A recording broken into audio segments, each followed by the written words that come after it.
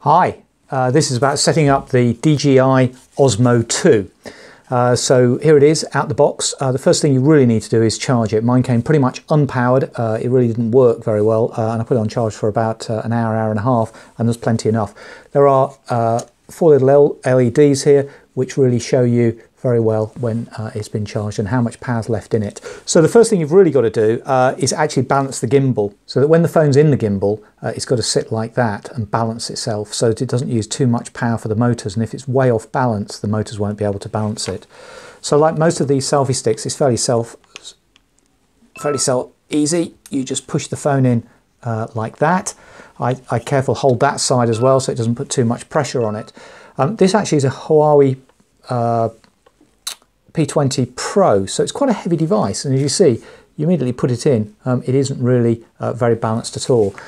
But uh, there's a screw on the side here, so we'll undo that and it just pulls a counterweight and you can just pull it and push it and, and eventually you'll get the, uh, the, the, right sort of, uh, the right sort of balance here.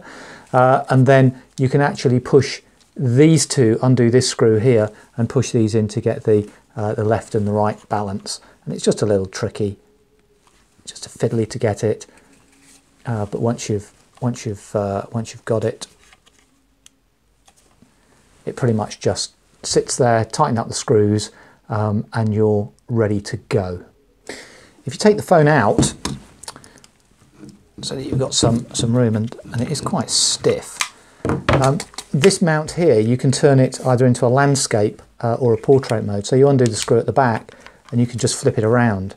And so when the Osmo uh, is at normal resting point now, uh, the phone's in portrait mode, which is fine if you want different uh, portrait or landscape style media. So very flexible.